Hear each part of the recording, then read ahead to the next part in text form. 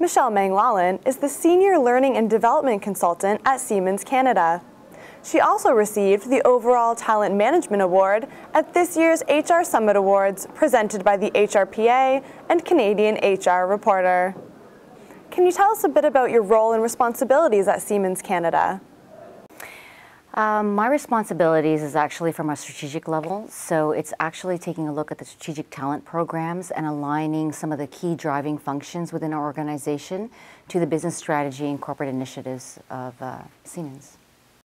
What talent management initiatives have you implemented to earn this award? So I developed a corporate university for Siemens and I called it the Siemens Academy of Business Excellence, acronym SABE. And really, that was the umbrella to align the people strategy or the development initiatives to the business strategy. So that was really the overarching. And we really focused on the key drivers of the organization, like sales and marketing, our engineering group, our field technicians, finance and administration, uh, managers of the organization to help drive the business.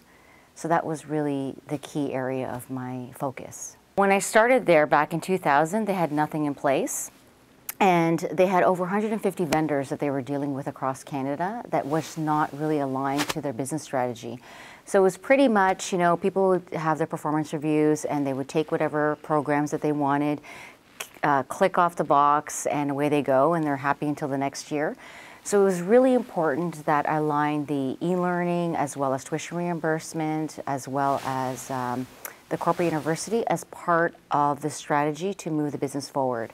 So at Siemens, we had it's really it's mandatory that you actually do international delegation to be a VP in an organization. So having gone through three CEOs, three CIOs, three VPs of HR, it was really important to develop this corporate university to ensure that I have a pulse of what's happening, what needs to be done from a development perspective this fiscal year, what needs to be deferred for next, and what kind of is out.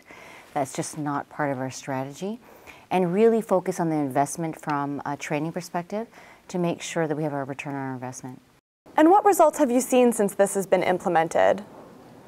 I think the change in behavior, knowing that when they actually take a program uh, at Siemens, they know that it's aligned to the business strategy or the corporate initiatives, that they know it's tied to their core competencies and a professional development perspective, so that it's really tied to their career.